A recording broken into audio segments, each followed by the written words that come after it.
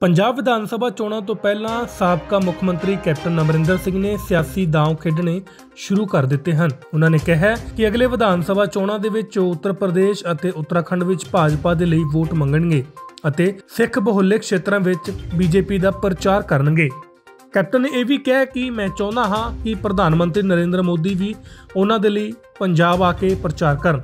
ਮੇਰੇ ਲਈ ਕਾਂਗਰਸ ਤੇ ਹਮਲਾ ਕਰਨਾ ਆਸਾਨ ਹੈ। ਮੈਨੂੰ ਇਸ ਨਾਲ ਕੋਈ ਦਿੱਕਤ ਨਹੀਂ ਹੈ। ਰਾਜਨੀਤਿਕ ਸਿਸਟਮ ਵੀ ਵਕੀਲਾ ਵਾਂਗ ਕੰਮ ਕਰਦਾ ਹੈ। ਤੁਸੀਂ ਜਿਸ ਤਰਫੋਂ ਉਸ ਦਾ ਬਚਾਅ ਕਰ ਸਾਹਮਣੇ ਵਾਲੇ ਤੇ ਹਮਲਾ ਕਰਨਾ ਹੁੰਦਾ ਹੈ। ਕੈਪਟਨ ਅਮਰਿੰਦਰ ਸਿੰਘ ਨੇ ਕਿਹਾ ਕਿ ਕਾਂਗਰਸ ਮਜ਼ਬੂਤ ਨੇਤਰਤਵ ਨੂੰ ਬਰਦਾਸ਼ਤ ਨਹੀਂ ਕਰ ਸਕਦੀ। ਇਸ ਦੀ ਵਜ੍ਹਾ ਨਾਲ ਉਹਨਾਂ ਦਾ ਅਗਲਾ ਟਾਰਗੇਟ ਹੁਣ ਰਾਜਸਥਾਨ ਦੇ ਮੁੱਖ ਮੰਤਰੀ ਅਸ਼ੋਕ ਗਹਿਲੋਤ ਹੋਣਗੇ। ਉਹਨਾਂ ਨੇ ਗਹਿਲੋਤ ਦੀ ਤਾਰੀਫ ਵੀ ਕੀਤੀ ਹੈ। ਕੈਪਟਨ ਅਮਰਿੰਦਰ ਸਿੰਘ ਨੇ ਅੱਗੇ ਕਿਹਾ ਕਿ ਅਗਲੇ ਵਿਧਾਨ ਸਭਾ ਚੋਣਾਂ ਵਿੱਚੋਂ ਉਹ ਸੀਐਮ ਚਿਹਰਾ ਨਹੀਂ ਹੋਣਗੇ। ਪੰਜਾਬ ਵਿੱਚੋਂ ਭਾਜਪਾ ਤੇ ਅਕਾਲੀ ਦਲ ਦੇ ਟੁੱਟੇ ਗਰੁੱਪ ਦੇ ਨਾਲ ਮਿਲ ਕੇ ਚੋਣਾਂ ਲੜਨਗੇ ਅਤੇ ਤਿੰਨਾਂ ਦੇ ਵੱਖ-ਵੱਖ ਚੁਣਾਵ ਨਿਸ਼ਾਨ ਹੋਣਗੇ ਇਸ ਦੇ ਨਾਲ ਹੀ ਕੈਪਟਨ ਅਮਰਿੰਦਰ ਸਿੰਘ ਨੇ ਕਿਹਾ ਕਿ ਉਹ ਕਿਸੇ ਵੀ ਸਥਿਤੀ ਵਿੱਚ ਅਕਾਲੀ ਦਲ ਦੇ ਨਾਲ ਨਹੀਂ ਜਾਣਗੇ ਉਹਨਾਂ ਦੇ ਕੰਮਕਾਜ ਦਾ ਤਰੀਕਾ ਮੈਨੂੰ ਚੰਗੀ ਤਰ੍ਹਾਂ ਪਤਾ ਹੈ ਉਹਨਾਂ ਨੇ ਕਿਹਾ ਕਿ ਮੇਰੀ ਕੇਂਦਰੀ ਗ੍ਰਹਿ ਮੰਤਰੀ ਅਮਿਤ ਸ਼ਾਹ ਦੇ ਨਾਲ ਗੱਲਬਾਤ ਹੋਈ ਹੈ ਭਾਜਪਾ ਅਕਾਲੀ ਦਲ ਛੱਡਣ ਵਾਲੇ ਗਰੁੱਪ ਦਾ ਸਮਝੌਤਾ ਕਰ ਰਿਹਾ ਹੈ ਭਾਜਪਾ ਦੇ ਅਕਾਲੀ ਦਲ ਦੇ ਨਾਲ ਦੁਬਾਰਾ ਗੱਠਜੋੜ ਦੀ ਗੱਲ ਨਹੀਂ ਹੋਈ ਹੈ देश विदेश की तमाम खबरों से जुड़े रहने के लिए सब्सक्राइब करें सच कहूँ और बेल आइकन प्रेस करके पाएं हर लेटेस्ट अपडेट सबसे पहले